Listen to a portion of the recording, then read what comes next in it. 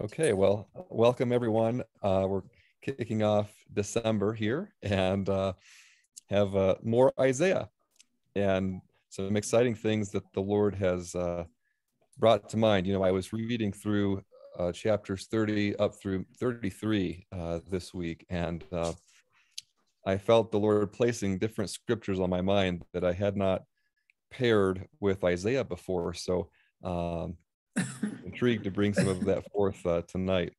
So I'll go ahead and get us started here, and uh, we'll find, I'm sure, some good opportunities as always to pause along the way and uh, share some thoughts and have some discussion.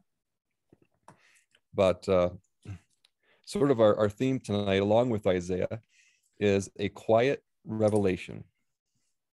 And uh, that's a good thing to keep in mind as we go through some of these scriptures. And it's very interesting how, uh, well, I guess what that means uh, as we break that down and try to understand it. So I'll uh, start off. I know it's been a couple weeks. So I think maybe a, a, quick recap of where we left off would be good. Uh, you, you remember we were talking about some of these verses in Isaiah 30 uh, where we left off. And um, it says uh, here, and I'm going to add a little bit to it this time as well to take it a little further than we did before.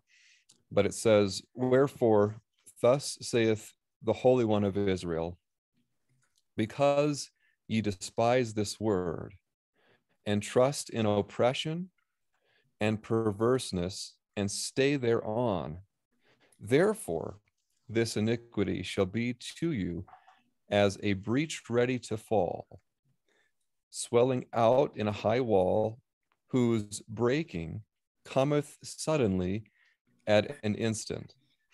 And so that's the part we read some of that, uh, at least the um, uh, that second verse a couple weeks back, and we talked about rising and falling for that theme. But some great imagery here as the Lord uh, describes sort of a, a, a tall or a high wall and and you know uh, perhaps a part of that that is swelling and and uh, corrupting causing that the whole wall might suddenly come down. And we're going to come back to the reason why as we go through some of the other scriptures but it's mentioned here. It says because they despised the word and instead of trusting in the word, they trusted in oppression. Now, that's quite an interesting phrase. You wouldn't normally say that of yourself. I trust in oppression. um, but it, it sort of pairs with putting trust perhaps in the leadership or government of the day, which is kind of an interesting thing to think about. We see uh, in our nation in particular a history of favor and uh, abundance and providence. And you know we we have leaned upon the government to be a good government. And we have had many uh, wonderful leaders and, and and blessings and prosperity. You know perhaps some of that uh, you know, is uh, part of the government, you know, and the many wonderful programs we've had over the many years that I've been alive. But, you know, we see how shaky it becomes and how uh, maybe it's not a lasting trust that can be had in that. But he goes on to say uh, here in the next verse, and he shall break it as breaking hour, hour um, as the breaking of the potter's vessel that is broken in pieces, he shall not spare, so that there shall not be found in the bursting of it a sherd to take fire from the hearth or to take water withal out of the pit. So now he's adding to the descriptive, uh, you know, story here that not only will the the judgment or fall be sudden, but it will be complete. So that's uh, uh, you know, giving us another insight that when the Lord um, causes that uh, that fall of you know maybe much of what we see today in the world, our current uh, structure and and society, and all the wickedness that that is sort of embedded within that, it will be taken apart completely so that it's no longer functional. Right? There's not not really anything left uh, to spare uh, from its uh, remains. And it finally wraps up here and says, For thus saith the Lord God, the Holy One of Israel. And I think this is so interesting. It says, In returning and rest shall ye be saved. In quietness and in confidence shall be your strength. And you would not.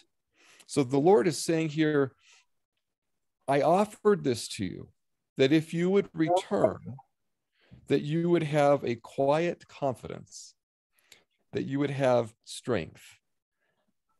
And uh, but but you know he was refused by Israel. And my question is, you know, how does returning to the Lord and rest, you know, th- those are interesting words. How do those pair together? And so I've kind of, uh, well, let me go back here.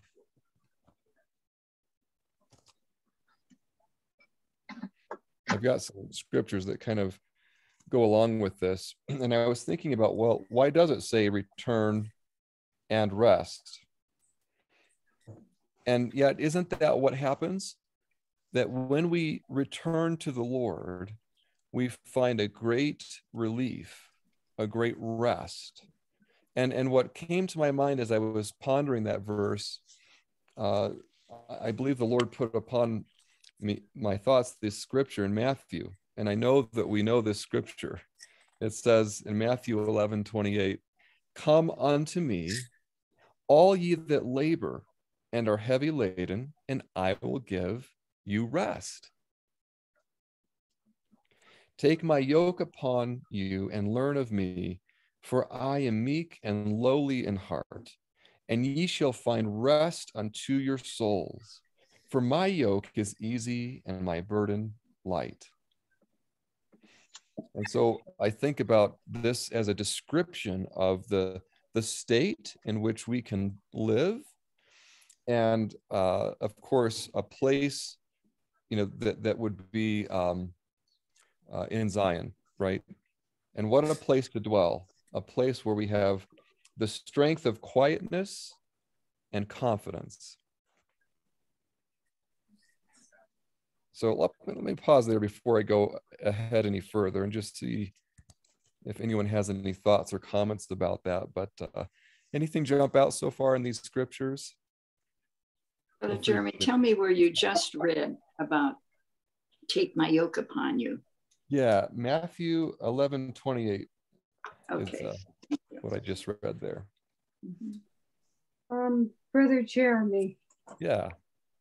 you know, I was reading online about the Jewish word for light, which is OHR, and they were given a description of it that I I never realized before, and I think it relates to this. Um, their word or it means more than just light, lighting up.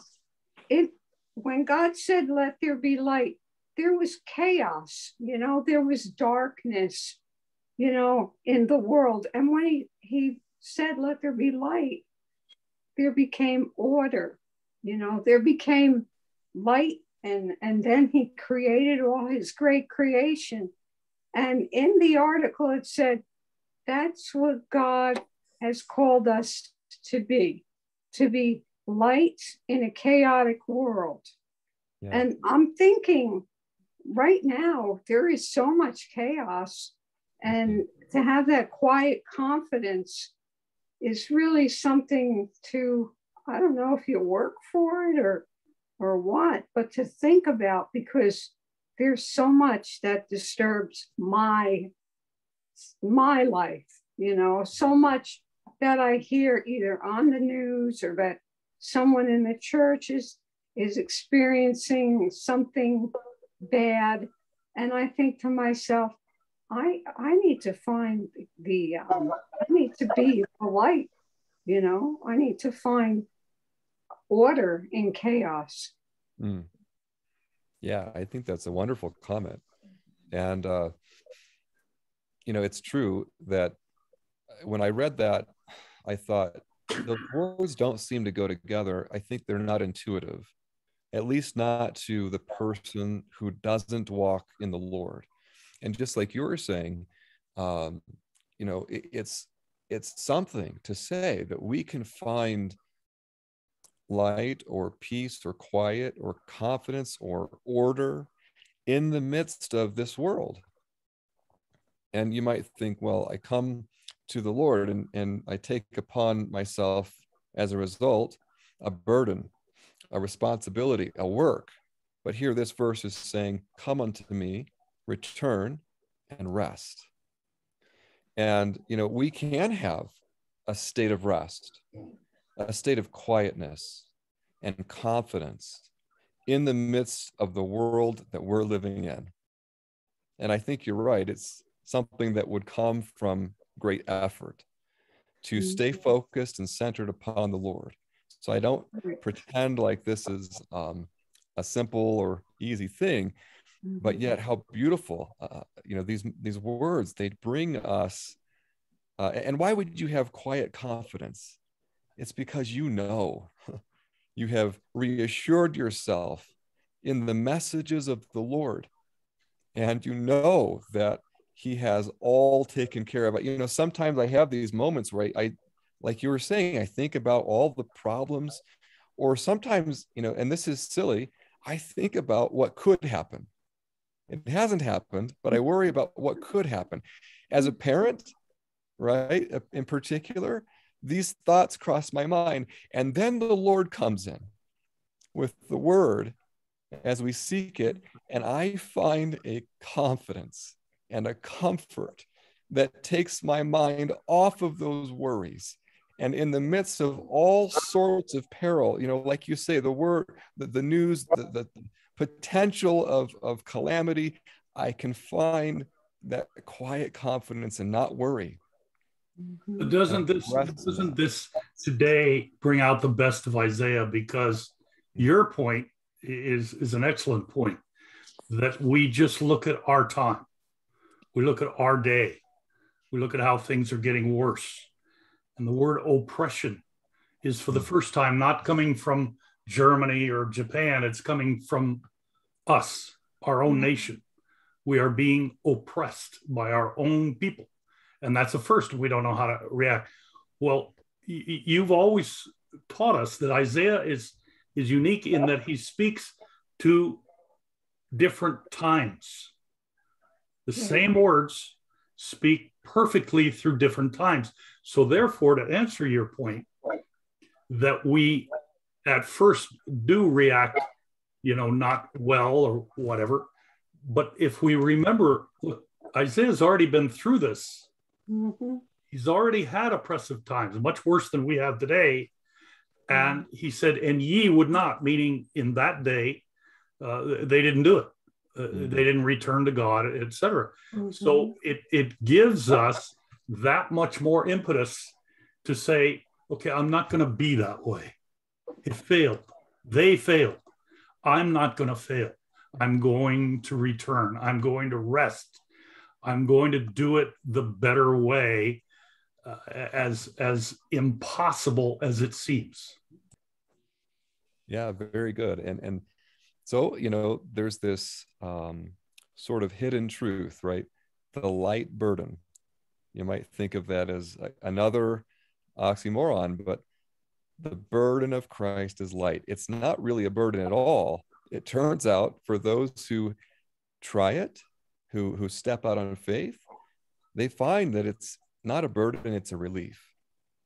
And so um, you, you, know, like you say, uh, Israel would not, but there was an opportunity for them uh, to find rest even in the midst of those circumstances. But ironically, they put their trust in the system, in the masses, in the, the rulers, even the very ones who were oppressing them.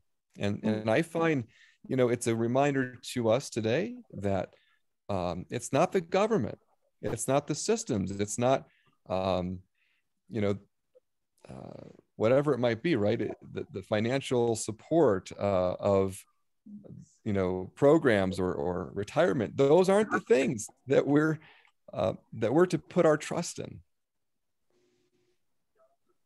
Brother Jeremy, uh, as our brother was uh, talking, it uh, sort of struck me that uh, I've heard it said that there's nothing new under the sun. What's happening uh, today has happened before. And they've had chances to make things right. And the next generation probably would have the same thing happen. However, I would say that uh, in turning to the Lord, that's that's what we do. We we mm-hmm. tell others of the Lord. We tell them about repentance and tell them about righteousness. And each and every generation are to uh, to to tell someone else about uh, this righteousness righteousness of Jesus Christ because Jesus Christ is nothing new. He's from the foundation of the world. And he came to save all sinners. And that's what he is about today.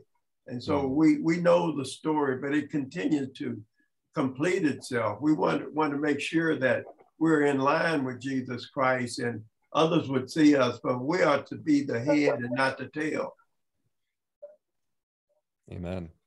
Yeah, we have wisdom to offer uh, the world that we have received. Uh, yeah, very true. Okay. Uh, great discussion already. I'm loving this. Um, let me keep going here.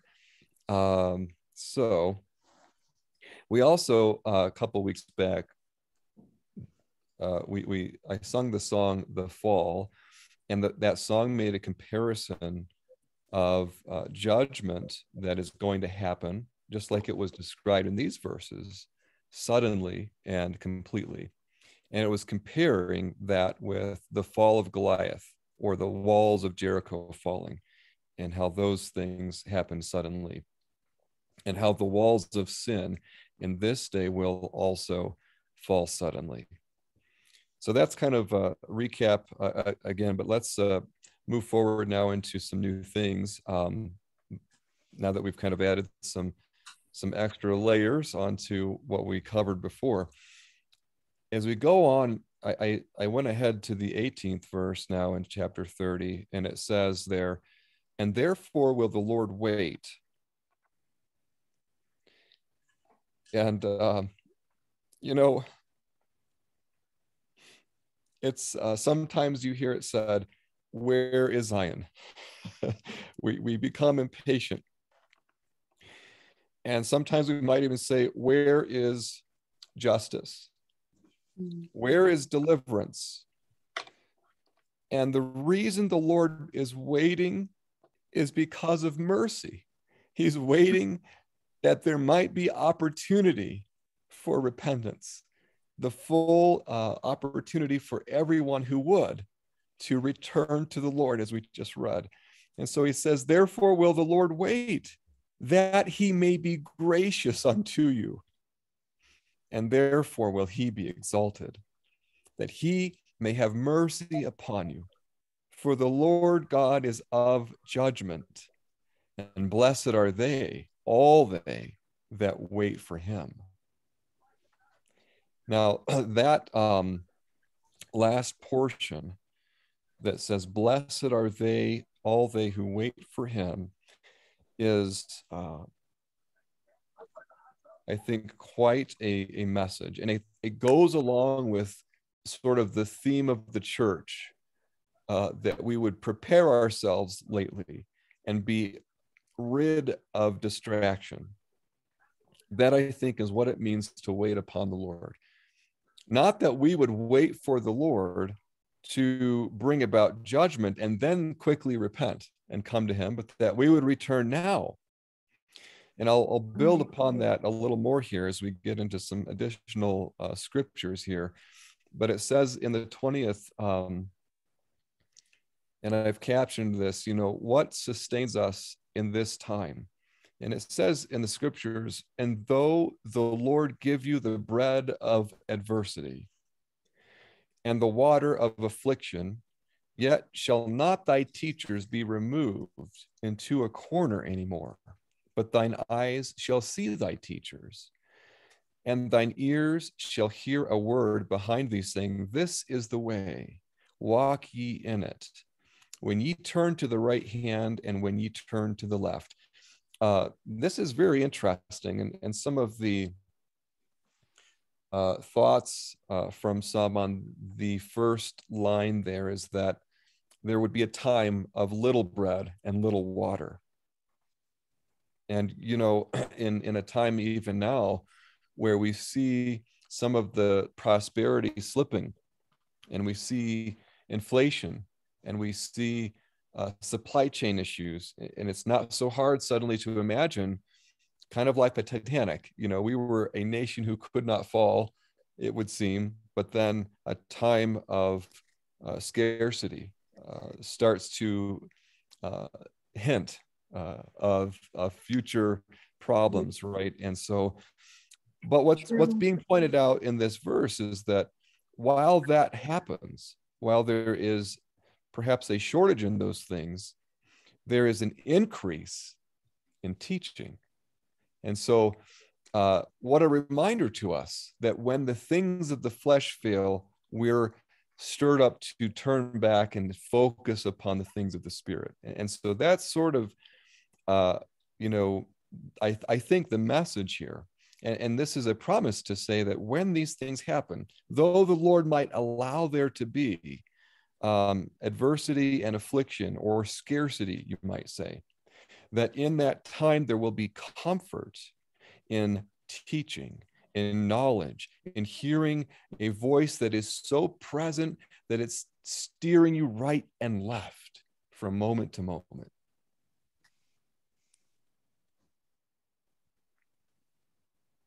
Okay.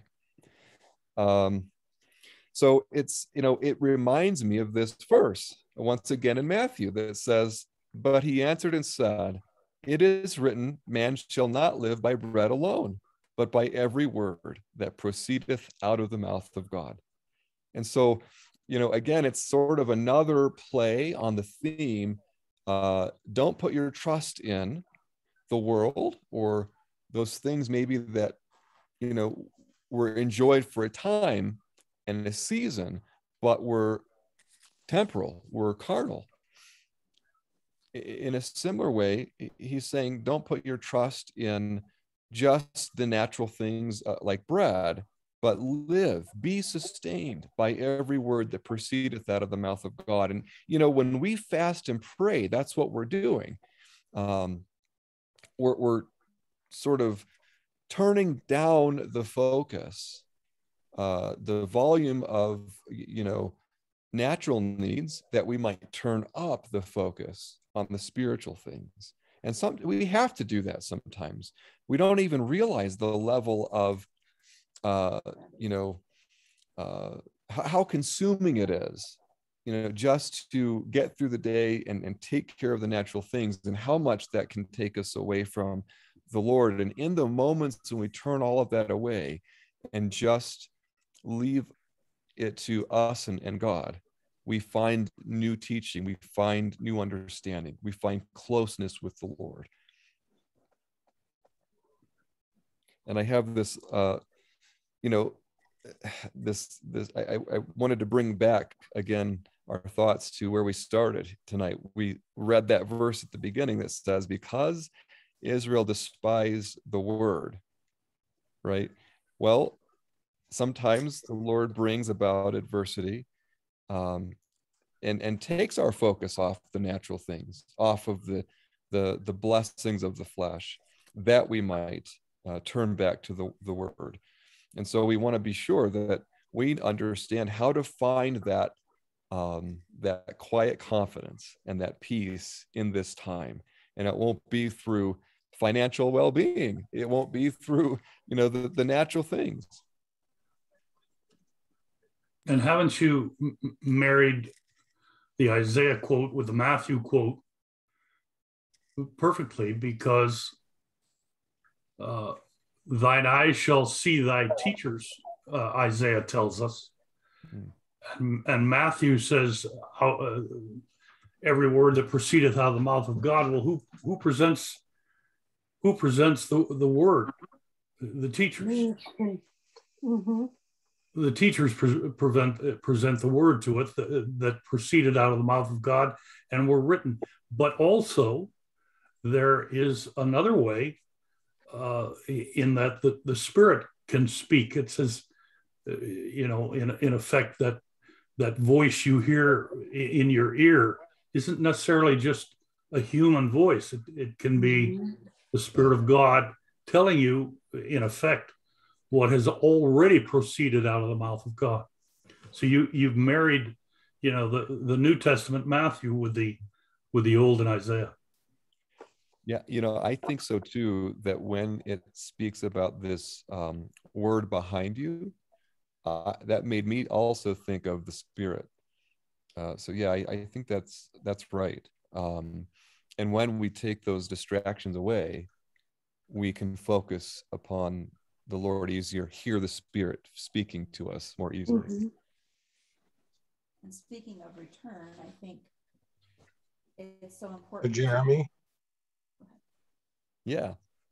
Um i was looking at uh, verse 16 and 17 which you you passed over there but it says but you said not but you said no. This is after he's asking us to rest. Find your safety. Find your salvation. Rely on my word. Just rest in that.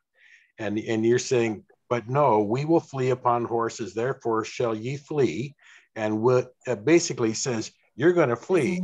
But word is just as swift as and we can outrun and it, then it goes on to say that uh, 1,000 shall flee at the rebuke of one, and the rebuke of five shall ye flee. Flee, and it says, and you will be like a pole or a flag on a hill of what not to do. I, I told you, just rest in my word. You mm-hmm. can run what what God has coming. Yeah. Just rest in His word and trust in His word, and rely upon his blessing. Yeah. Get but, vaccinated. And we say, no, I can outrun it. Mm-hmm. Yeah, it's uh, it's a good um, reiteration there, and and mm-hmm. like you mentioned, the Lord gives them what they wanted, right? They wanted to rely upon the wrong things, so He left them with those things. Uh, yeah. Okay. Uh, very good. So uh, this brings us to the song for tonight. And uh, along with the theme, it's a quiet revelation. 63. And we actually talked about, uh, you know, the, the reference verse with this song in our books is this this verse in Second Nephi that talked about line upon line and precept upon precept, which is um, a favorite fundamental verse uh, of mine and we've read it already in isaiah. He said those words also and, and we've covered some of that. So interestingly um, you know there's a lot of uh, songs that mention isaiah even this one who mentions the the book of mormon scripture of isaiah. But uh, and you know we, have been bringing up uh, some of us on the call have been looking at how many songs mention isaiah and we're up to almost 60 wow. And so um and i think there's probably more yet. Uh, like this one doesn't necessarily have the isaiah scripture reference but you're talking about a quarter of the songs right? And so it's it's interesting. And this song mentions isaiah too in the lyrics. And so i think uh, uh, i'll try to sing this for you tonight but uh, it also goes along very much with our, our message tonight. Uh, and it's very interesting how how often how significant his words are So I'll, I'll uh, go ahead and play that now. And as we uh, sort of talk more about about it afterwards, I'm I'm still I guess one of our goals tonight is to try and understand why why is the revelation quiet? what does that mean?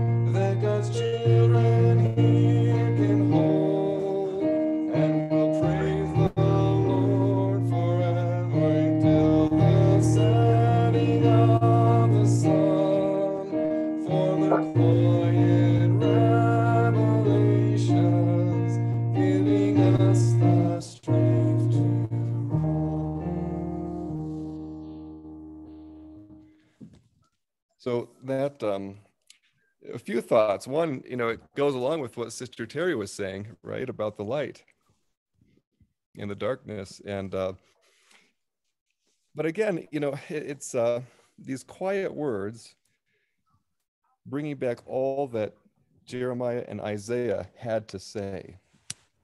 And I guess that'll be a, uh, maybe a good discussion point for us. Why is it a quiet revelation? Any thoughts?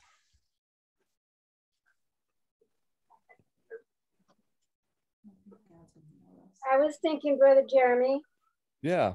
because Jesus speaks with a small, still voice to those that will listen.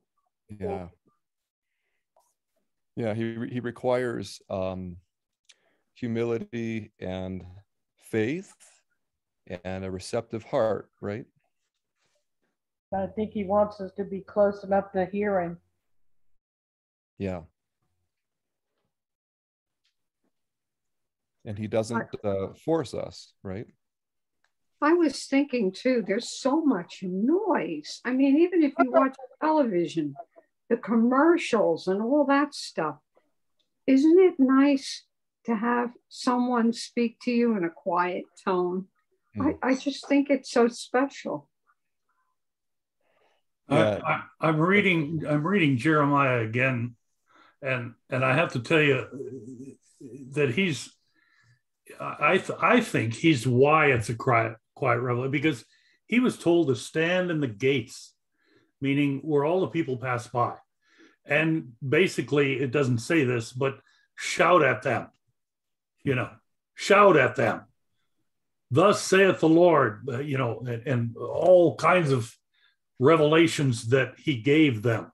You know this is this is why the lord's punishing you this is what you have done and your your fathers before you. And and he was anything but quiet. He he was in their ear constantly uh, at the at the gate the different gates. The lord told him go to all the different gates and and tell them tell the people. Well it's pretty noisy at the gates. You know they're they're coming and going and they're talking and meeting and greeting each other and and he had to get above that so it was not quiet and and the point is it didn't work Yeah. it didn't work he had the best man available doing the best job of obedience and repeating the words of god it didn't work Yeah. Interesting how how that's true. Yeah, very Mhm. good. Brother um, Jeremy, I also Yeah. think, like Sister Terry was saying, you know, with so much noise around us going every which way, Right. when somebody's speaking quietly, you're more going to turn your ear to hear more of what they're going to say than somebody that's screaming and yelling at you all around you.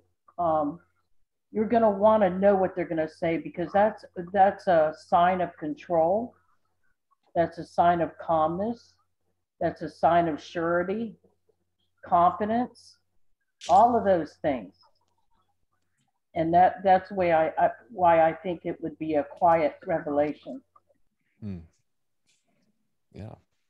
You know, a parent from time to time, when their kids are making noise, they tell them to be still. And God, in His way, said, "Be still and know that I am God." So we uh, go with that counsel that we uh, have that quiet revelation with them. Yeah. Yeah. Right. Yeah, Brother it- it's so interesting to me how once again it's uh it's counterintuitive, right? The world thinks the way to get your attention, the way to display confidence is to be loud, you know, to clamor for attention. And yet we find that the Lord doesn't need to, to clamor, right? The words that he speaks stand on their own because they're true. And so uh, there isn't a need for all the hype and and volume, right? It's it's really uh, it's like when you hear someone who is wise, you often think of a soft voice, you know, someone who uh, doesn't have a need to uh, raise their voice, someone who, you know, you would listen to without all that, right? Because of what they're saying. And so there's a quietness in the revelation. He's on a Zoom. There's a quietness, I think, um, in uh, in Oh, Zion. okay. Um, you know, let me uh, just get You back gonna my eat, Joe? Screen Or here. lunch Hold meat? one second. Wait. Back's getting Brother. Jeremy, Yeah, yeah, go ahead. they're not only um, loud in their voices, but they're loud in their actions. You know, how they go about doing things. The, the crazier, the more attention I think they think they're going to get. You know, the more bizarre they can act or behave, the more they're going to get you to look at them. That you know, that's another thing. I met I met a kid like that one time, and I said, "Look, you don't have to go to all these extremes. I mean, if you just want to be loved, then then say so. You ain't gotta go to all those extremes to get attention from somebody, you know. But people do that. And Brother Jeremy, there's also another aspect to when someone is speaking quietly to you. And that's that that you lean in and you get mm-hmm. closer. Yeah. Yeah, it, it, it these are interesting things to think about, aren't they? And I think mm-hmm. too, it's a, a sign of respect. Um, you know, and I, I mean, don't get me wrong. There are times when I'm, I'm preaching and I get excited, and I probably have a hard time being quiet. but generally, you know, and there are those moments of passion and excitement. But generally, when I'm speaking to someone, um, I think it's a sign of respect to speak quietly to them because if you're yelling at them, it's sort of indicating you're trying to force them, right?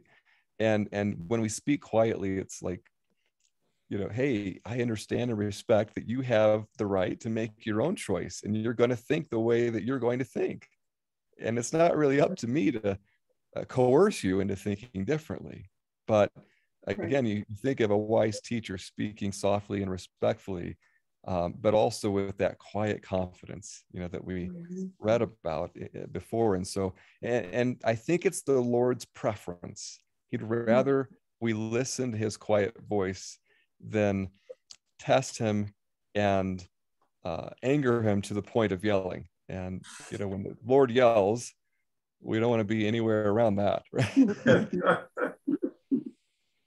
Brother Jeremy? Yeah. All the covenants, they were given quietly and and in private. Hmm. You look back. But when he warns us, that's when he asked like Jeremiah to shout. Mm-hmm. That we can't say, well, I didn't hear it. Mm-hmm. Now you're ignoring it. But when he gave it to us, they were just spoken. He didn't have to, there was no photo ops. There was, like you said, no flashing lights or parades. this is my promise to you yeah and you know and uh and they clung to those words mm. yeah very true it's sort of like the last resort to yell right uh your last warning. Uh, i can testify in, in that in song when i'm standing before a group in church in mexico or wherever if the spirit has it doesn't happen every time or all the time but i know when the spirit has told me get up front brother bob and sing this song and i'm enthused and and i i want to i, I want to give it voice mm. but very very often when that happens it comes out really softly mm. really quietly and some people complain to me later brother Baba, I was in the back of the church. I could hardly hear you. Hmm. And, you know, they, they were crying when they were talking to me. And I said, well, apparently it, it reached you, you know, because, mm-hmm. because I was crying when I was singing. And, and it's, it's very interesting that this issue of a quiet revelation is, mm-hmm. is true in a, in a lot of things.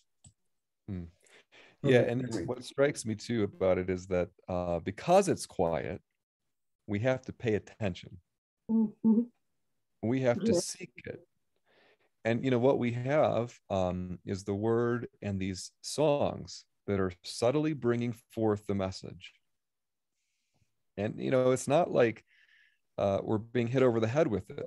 You you can make the choice never to open and read uh, these things right? And so it's it's a quiet thing because it's reserved for those who want it those who earnestly seek it and make that effort right Brother Jeremy. Yeah. You almost said just what I was going to say to you is that, you know, I, I love that line as well, you know, precept upon precept, line upon line, little here, little there. You know, that quiet revelation, I think it's meant for us too, because like you say, when you're seeking and wanting to understand the things of God, you're willing to listen. You're willing to be mm-hmm. quiet and listen to what he's trying to tell you. So, you know. Very good. All right. It's kind of to study the Word of God and draw close to God with uh, the vacuum cleaner going and all this other stuff, is it now? Yeah. Yeah, very true. And and so, you know, maybe this is also instruction to find quiet times with the Lord. Yeah, so that, you know, I think we we brought up some interesting thoughts and and and reasons and and what I had written down is um you know, again, we need to seek it. And, and how beautiful it is that this great blessing, this strength of God is available if we are willing to listen to that quiet, still voice and incline our ear and open a softened heart to it. This um, week in one of the meetings I heard, uh, they opened with the song "Come and Dine," and the and I, I was thinking about this lesson, and the, the the line hit me: "You may feast at Jesus' table all the time, that's what's available to us. You know and and so many mm-hmm. times it's like the wedding feast. The lord lays this beautiful feast out and the people who he intended it for don't show up and so you know what's what's there before us today that the lord is uh, offering if we're really attentive to it if we quiet down as was said many times tonight the noise around us and tune into the voice of the Lord. So, um, you know, sort of in contrast to this, I think it's a good question to ask what are we seeking? Or what is the world seeking? And, and again, I kept hearing these voices from Matthew this week.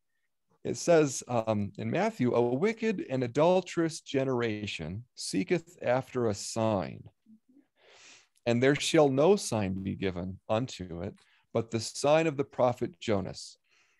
And after Christ spoke these words, he left them and departed, it says. So there, right? he was done, right? I've told you the truth. You're not going to listen. I'm out of here, right?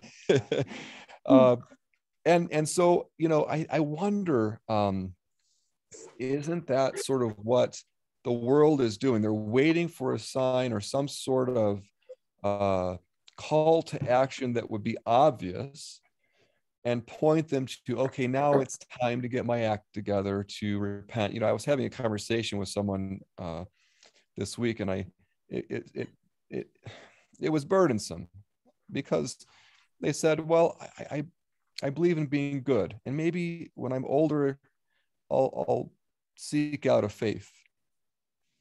And you know what if you don't make it to older? Right? Um, you know and and we opened tonight with these ideas. Blessed is he who waits upon the lord and the lord waits upon us that we might get it right and repent out of a willing heart. More blessed are they who are not compelled right?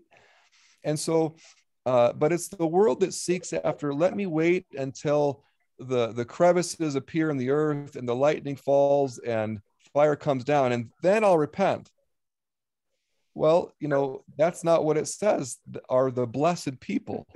It's the blessed people who listen to the Lord willingly beforehand and wait upon him in faithfulness and righteousness. And so I thought, you know, we need to seek the Lord rather than signs sometimes or or rather than waiting for a sign to draw near him because the lord has given us enough uh, signs uh, to draw near and, and that's what he's saying here you know i've already given you the subtle message of the scriptures and listen to the message that is sort of, you know, represented in the story of Jonas and, and learn from it.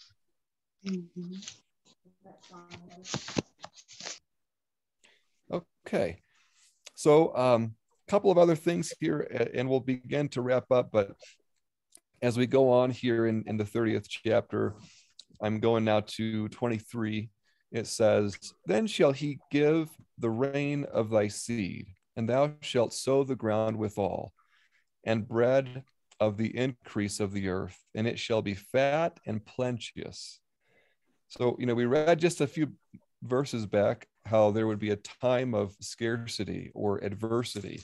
But now we're reading about a, a great change the prosperity, um, I think, of Zion. And it mm-hmm. says, In that day shall thy cattle feed in large pastures, and there shall be upon every high mountain and upon every high hill rivers and streams of waters in that mm-hmm. day of the great slaughter when the towers fall and you know, that's so interesting because though this great judgment would happen, and it's just like today, how it was in Babel. There was a tower in Babel, there are towers today, and the songs speak of those too. And those towers will fall. And, and when that happens and the Lord is, is done cleansing uh, the earth for his kingdom, there will then co- follow this great time of, of abundance again. And, you know, I was thinking, you know, living here in Colorado, mountains, really, they're a source of water, which is a source of life. Hmm. There's so much some symbolism in mountains. Um, you know, the rivers that that feed the nations, our nation, they start with snow in the mountains, right? Mm-hmm. and so that's the source, right? Zion will be the source of great plenty. And he says, Moreover, uh, and this is interesting, it says, The light of the moon shall be as the light of the sun, and the light of the sun shall be sevenfold, as the light of seven days in that day that the Lord bindeth up the breach of his people and healeth the stroke of their wound. So we started with sort of the recap of last uh, class with that breach and the wall falling, and now we're seeing how the Lord will bring back together and heal. And there will be uh, it, there, there's this new description here that we don't hear about as much. It's not really new but it's it's uh, less spoken of uh, of how zion will be a place uh, again you know sister terry of light of brightness right? As, as you mentioned uh, um, so you know wonderful things wonderful things to, to look forward to as the word talks here about zion. Isn't this proof positive this uh, 23 to 26 that when the day of great slaughter happens, the towers fall, which is what we all dread. We, we all hate the knowledge that this is going to happen. But he's saying that there will be people there already. Isn't he? In this quote, he says, Then shall he give the rain, and that it shall be fat, and and thy cattle will feed in large pat. I mean, it sounds to me like many will already be there. What do you think? Yeah, it's it's possible. Um, it's certainly possible, and I think um, you know I think of a place of refuge and a place of of of the kingdom. Uh, and I always struggle, you know, to be too sure when it comes to timing in particular with Isaiah's words, uh, because I don't know if it's sort of like many other instances, uh, very compacted, you know, where he's sort of reading through in one sentence what's going to happen in years, right? Uh, but yeah, hard, hard to say um, exactly if, if that's certainly a, a, way to to take this.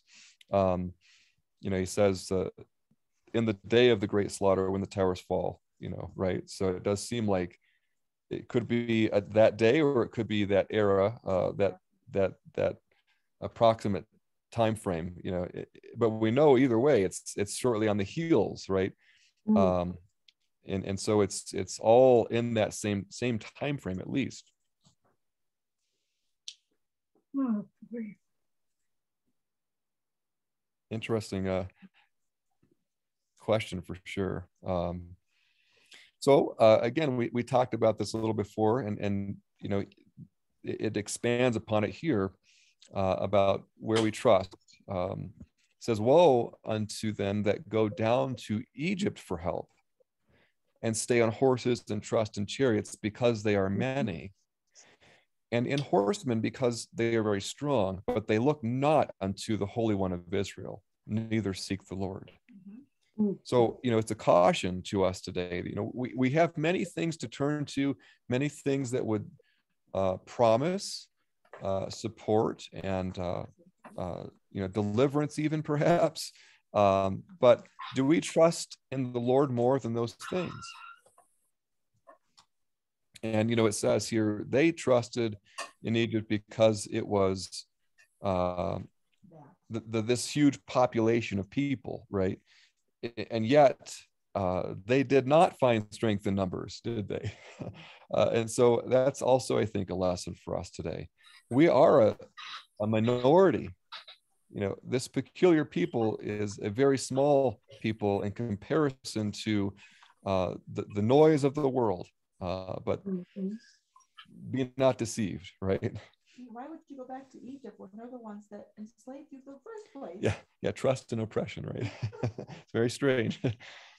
so he says um, in the third verse now, and we're getting into 31 now, uh, the 31st chapter, but in the third verse it says, Now the Egyptians are men and not God, and their mm-hmm. horses flesh and not spirit.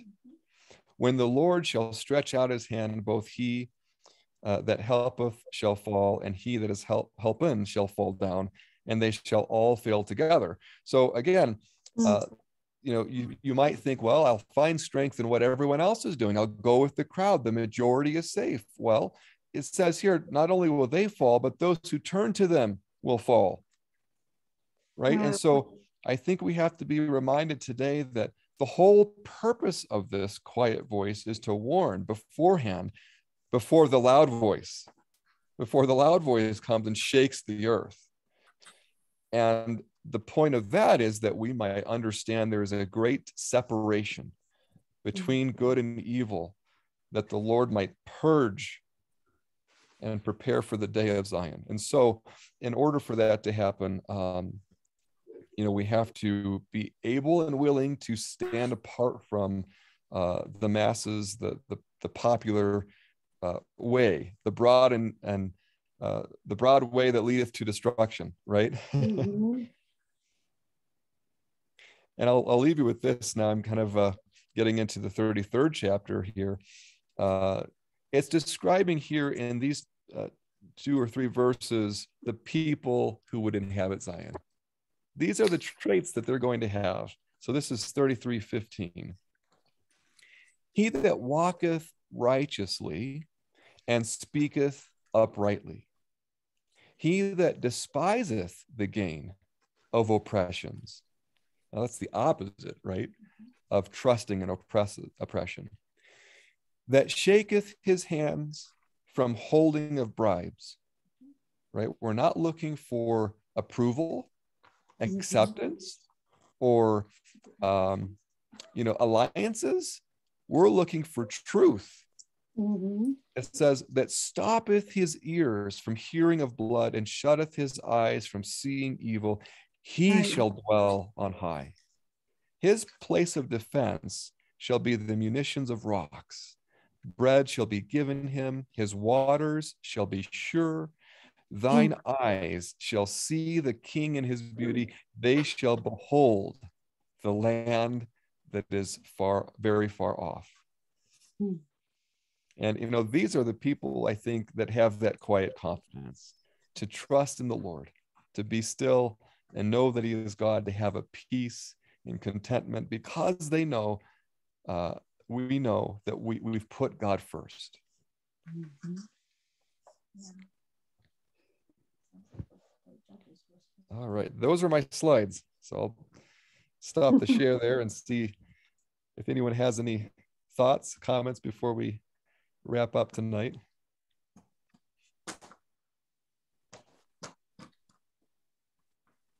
Brother? Yeah. I think before we run for the FEMA camps, we should remember the land of milk and honey. Hmm. Remember the promises. Stop looking to get food that's dehydrated and powdered and everything else. Rely on God's promises, His provision. Mm. Amen. It's the message over and over again to fear not, right? Because it says you're it's oppression. Once you go inside those fences at those camps. Well, and I, I think, you know, as you read end time prophecy, you do hear about, um, you know, an option the world offers to escape the calamity. And we don't want to take that.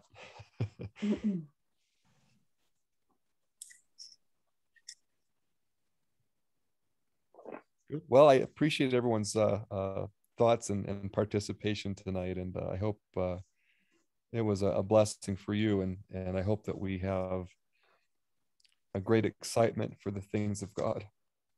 Jeremy? Yeah. I, I really like the way you take just a small portion, just a few pages or verses or something, because it's so much easier for me to digest it. I really, um, I really always feel like I learned something from it when you do that. Also, I forgot to mention that today um, Brother Sal Azanero was taken to ICU, oh. and he has um, high fever and very, very low blood pressure. So, and that's all I know for now. Okay. Yeah. Well, thank you for mentioning that. We'll keep him in prayer. Oh, yeah.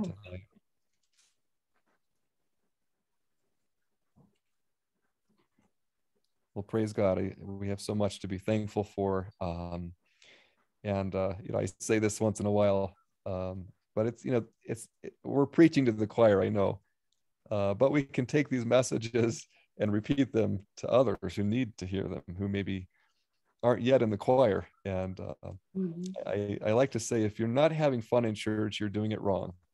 Mm-hmm. Right. So we we need to be excited, and if we're doing it right, we'll see what the manifestations of God. Mm-hmm. Right.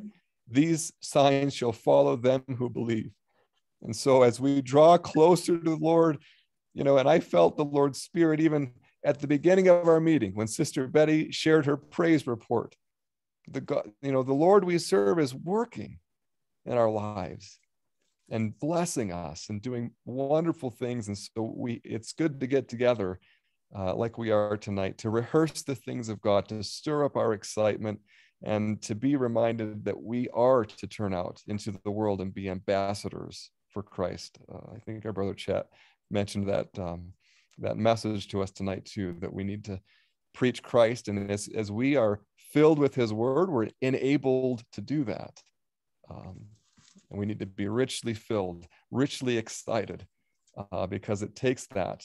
Uh, and again, we don't have to yell, but uh, we can certainly have that quiet wisdom and uh, live a life of a someone who has the zeal of God. Uh, and so I pray that the Lord will help us to be lights in this world and bring people from our uh, love for them uh, into the truth. Uh, so may God bless you. And I hope that you have a wonderful weekend. I'm uh, grateful to see the Lord has brought you through another week, and we'll uh, certainly pray for our brother Sal and others who stand in need tonight. Um, does anyone have a, a desire to close in prayer tonight? or a prompting?